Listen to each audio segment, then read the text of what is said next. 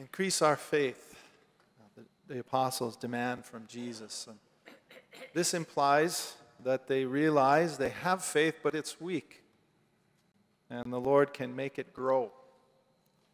Jesus' parables tell us that even a little bit of faith, God's supernatural power can do what is impossible to us as human beings. The prophet Habakkuk, whom we listened to in the first reading, stresses the power of faith as well. He also gives us another angle concerning this gift of faith that we receive at baptism. There's a little context. Habakkuk, the prophet, lived in the 6th century BC when Israel had been conquered by the Babylonians, and the majority of the Jews have been deported, exiled from their homeland. And it was as if a hurricane like Ian uh, had swept over not just one city, but the entire country, wiped out. The Babylonians wiped out the, the buildings, they burned buildings, people died. Um, and so he feels the pinch of poverty and destruction. And he does the most natural thing in the world. He complains to God about it. Lord, how long? So this is going on for a long time. Israel is not being restored to their country. I cry for help, but you do not listen. And God answers Habakkuk by telling him to have faith. He promises that he will act and he will restore Israel's fortune, even though at the moment it appears that he's not listening or he's not present. Encourages the, them to have faith.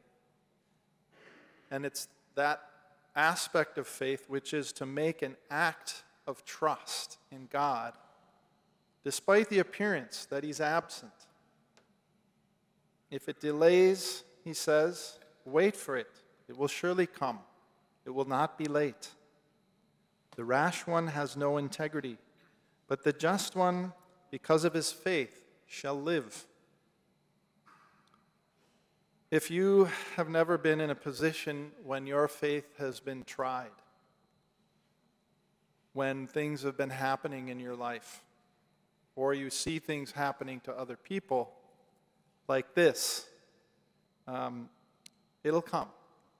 And when you see so many injustices around you, so much evil around you, even if it isn't directly at you, towards other people, happening the hand, at the hands of some people towards them. When there appears to be nothing that you can do but trust God, make an act of trust in Him, and continue to be faithful or abandon your faith.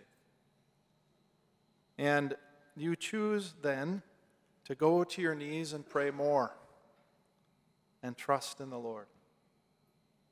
I've noticed uh, as I've gotten to know you here at Our Lady of the Lake in the last two years how much this kind of faith you have. Now, in the beginning, I didn't recognize it at first because I was looking at what's happening out there and uh, back in the, the same things, though, are happening today that are happening back in 2020.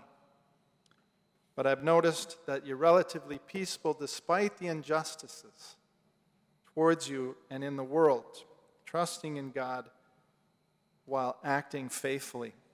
And I'm also been impressed this morning that all of you are at church despite the Vikings playing right now.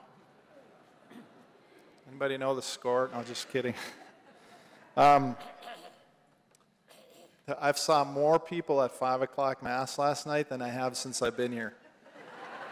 and, you know, it's, yeah, it's great. I came to church, you know. This Sunday we pray for the impossible, and what appears to be the impossible to us. Uh, this pro-life weekend. Pro Life Sunday. The greatest social injustice of our time.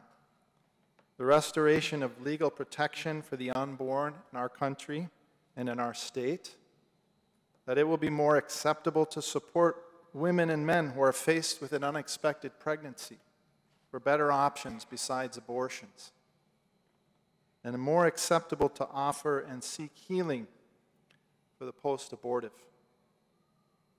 And we continue to act in peace despite the odds being against us.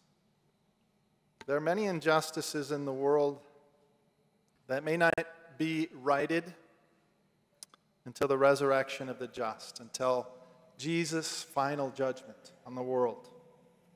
In the meantime, we pray like the apostles Lord, increase our faith, at least to the size of a mustard seed.